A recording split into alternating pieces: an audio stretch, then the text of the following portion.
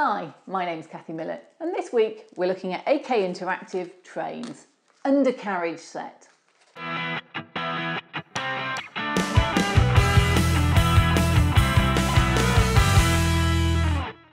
This week we're looking at photos of what goes underneath, and there's definitely a lot of dirt that's thrown up onto trucks and undercarriages, and some of it's dirt, some of it's rust, some of it's actual oil where they've greased things. So it's worth taking quite a bit of time to look at the photos and see what you see.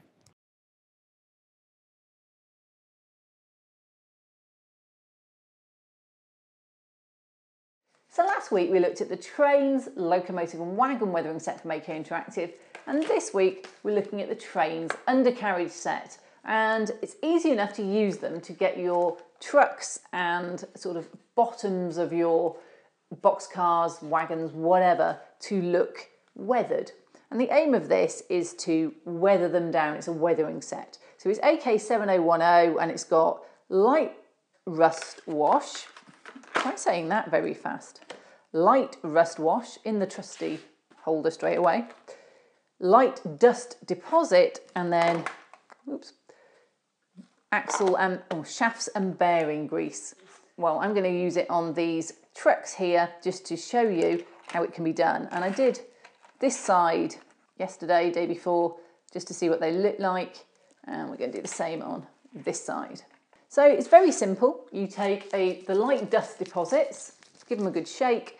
And the aim of these is that they're sort of a um, brownish, greeny, this is quite pale, it's a dusty colour. And um, I should say as my little opening preamble that I'm putting these straight on without any dull coat, anything else on. And what I find with these enamels is you don't necessarily need to do anything else on first.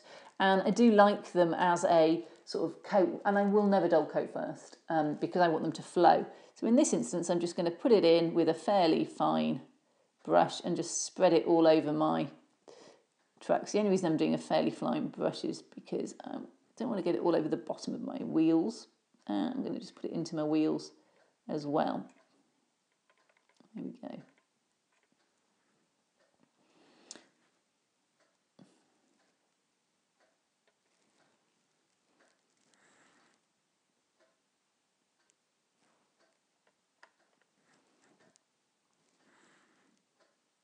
Now these are enamels, so they, um, they will lift with the same sort of solvents as we used on the side of this boxcar last week for streaking grimes. And so if you want to use them like I'm about to do now and put a little bit along the bottom, just bear that in mind. Um, along the bottom here, I'm just going to put a little bead of this to just sit into these areas.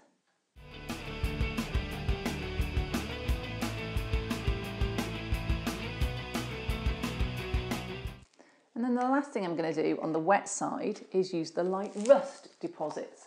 Now, I find these a little bit bright, if I'm honest, for a lot of things. I mean, they're, they're good on perhaps couplers, but they're quite light, really, and my rust is normally a little bit darker than this. So having this product set made me try something that perhaps I wouldn't normally do, which I guess is the point of having product sets like this, is to just try new products. So what I did do was I put it into my wheels because they're the bit that's going to probably get the most um, sort of rust colour. I added just a bit of variety in there. Uh, I did put it in when it was just wet. I do have this nasty habit of liking to get on and do things and do multiple colours at once. I just put it through.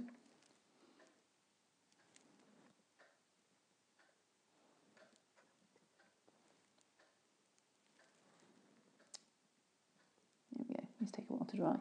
And then I did put just a little bit around in some of these areas just for a bit of variety.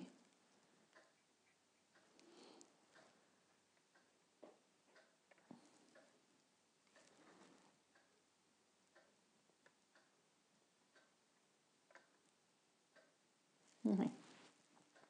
Then you can use it for other spots where things may have caught a little bit of rust, so, mm, so it's not unusual for some of these things to perhaps caught.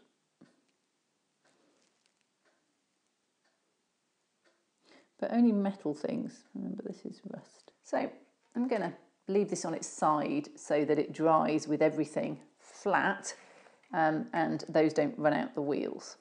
So this is more or less dried now. Um, only been an hour or two, it's been quite quick, but what I need to do is take the, um, this is the bearings or shafts and bearings grease. Now it's basically, if I'm honest, a bit of a shiny varnish. It's a weathering effect by AK Interactive. And all it really does is add a little bit of black. There's, there's a little bit of black pigment and a bit of varnishy effect. And you can just brush it onto some of the places that may have had oil on them, just to give a little bit of um, a different texture. So there we go, just onto these areas that may be sort of oiled. And There we go. Yeah, it's as simple as that. And by the magic of television, if I turn it over, you can see what I did last time and it just adds a little bit of shine to these areas. So with the three packs that I've I'm looking at, I think this is the weakest because although it, it is a great set of colours, they're not quite enough. I think you do need to put another coat of an undercolour on first. And that's fine because realistically, weathering isn't just one coat, and these are probably the finishing top coats um, rather than the base coats. So, useful packs. The light dust is a little bit light for me, and you can see how much it stands out on the reefer car. It's not really a colour I use, and I think it would have looked a lot better if I'd airbrushed it rather than painted it on.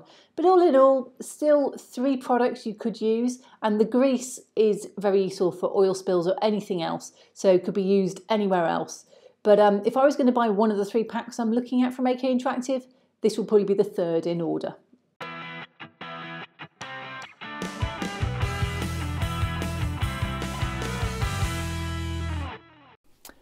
So this week's Day in the Life of the Mini Kathy show, they're insisting it's a show, um, we're talking to HO Scale Kathy. So, HO Scale Kathy, tell us a little bit about yourself. Thank you, Big Kathy. It's great to be here. So I'm HO Scale Kathy, and I'm, um, well, I'm the quieter one of the lot. I know it's hard to believe that any of the mini Kathys are quiet, but generally I am. Like to think of myself as the thoughtful one that, um, you know, thinks through why we do things and perhaps looks for better ways. I also like to be able to, um, I really help Kathy with her modelling, Big Kathy, because, you know, I have the right scale eyes. So quite often she'll do something and it looks a bit splodgy. And I'll go, too splodgy! Too splodgy! Looks awful! Come on! More layers! Fire! Tone it down a bit! See, so I'm the quiet one and I just give some reasonable, constructive feedback to her on her modelling. Well, that's all we've got time for from HO Scale Kathy, but wasn't that fascinating? And um, Tune back next week for the next gripping instalment in A Day in the Life with the Mini Kathys.